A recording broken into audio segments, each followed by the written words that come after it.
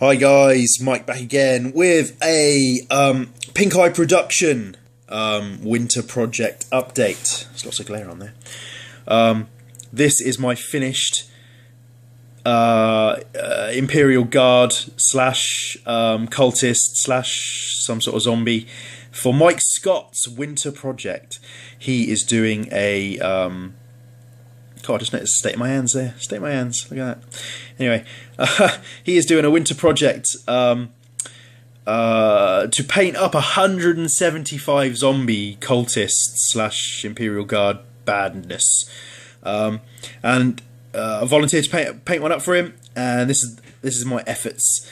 So uh, we'll just take a little tour. I mean, I'm, I'm, sure Michael will show you this when he when he gets the mini, but it's ready to go, and I'll I'll probably send it on Monday. To be fair, so um, so we've got an Imperial Guard um, in sort of, sort of let's get some focus on here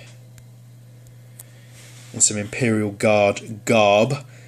So I've done a green jacket and uh, kind of tan tan slacks, brown boots with these kind of metal rusting um, kind of shin guards.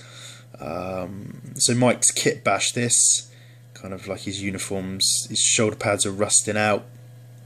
Um, can't see much of his face, so I've just done a haven't done much to haven't done any detail, haven't picked out the eyes or anything. Um, and then Mike kit bashed this arm onto him, so he's got a got a manky arm with blood and sores and a scythe um, with uh, with kind of weathered effects, rust and verdigris, and um, just kind of weathered look and dried blood on the on the cutting edge. Um, we've put blood effects on the chap's um, tunic and on his knees, and there's blood in the grass and on the floor. And we've kind of messed up his um, is, is whatever this is, his sights, his targeting, or whatever that is.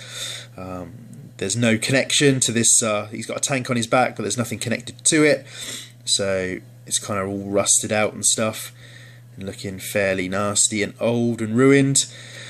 so it looks like he's uh, he, he had a, a pack on, some sort of flamethrower or something, and he's lost his connection. Now he's picked up a scythe and he's just been wearing this backpack, so it's all rusted out. I wrapped some um, some uh, barbed wire around it just for fun. I don't know why really, but I've kind of done it now. And uh, uh, if you don't like it, I'm sure it will come off. But I haven't glued it; just sort of tucked it in. Um, but I, I, didn't want to take it off in case it started ripping off the paint. I have varnished it, so it should be okay. So that's it. That's my. oh, excuse me. I've got a terrible cold at the moment. Um, so that's my my uh, effort for Mike Scott's Pink Eye Productions. Uh, uh, zombie paint off, basically. So that's him. Um, and I'll catch you on the next one. Cheers, guys.